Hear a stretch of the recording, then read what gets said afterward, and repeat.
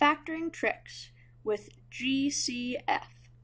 Always factor the GCF first.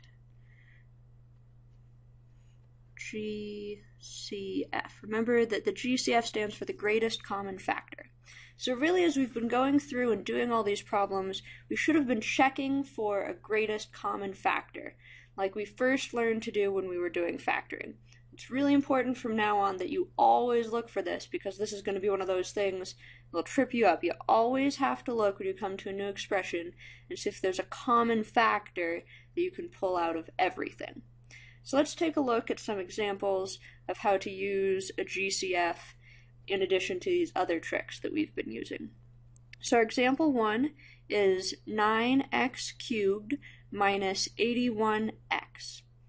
So we're going to look for a GCF first, and I'm seeing that both 9 and 81 are multiples of 9, so I know that I can pull out a 9.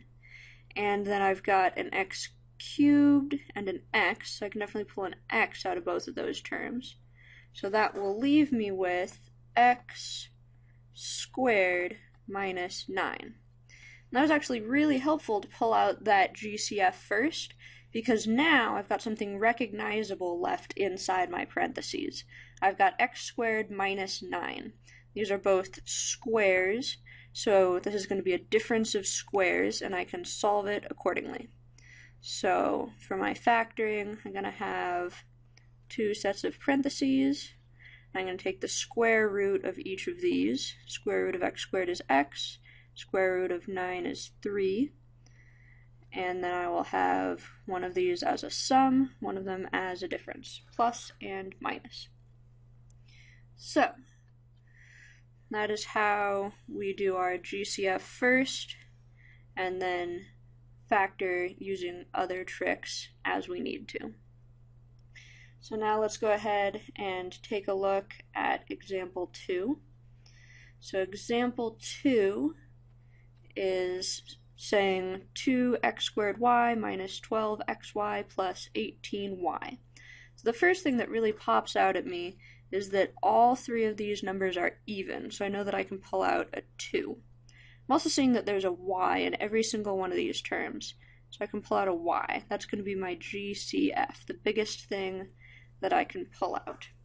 So then I want to take each of these terms and divide them by 2y to see what's left divided by 2y.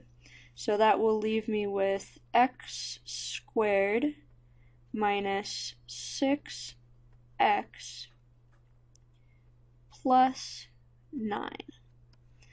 Now when I look inside here, noticing that I've got three terms, and I'm also noticing that this is a square and this is a square. So I'm thinking this is probably going to be a perfect square. But I also have to make sure that this middle term is going to be equal to 2ab. Remember, a is going to be my square root of the first term, b is going to be the square root of the last term. So this 2ab would have to be 2 times x times 3, which would give me 6x. I definitely have a negative 6x here in the middle. So that means that we're good to use the perfect square, and that negative means that our perfect square is going to have a minus sign in it. So we'll have x minus 3 times x minus 3. And remember, we still have to have this 2y out in front.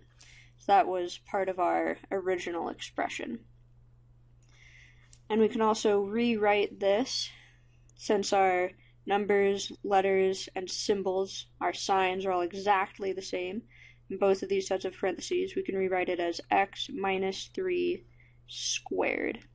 You want to be careful to watch for that as well because WAMAP doesn't like it when you uh, switch back and forth between these formats. We're going to prefer that you write it as x minus 3 squared. Okay. So now we have successfully factored out our GCF again and then factored what was left.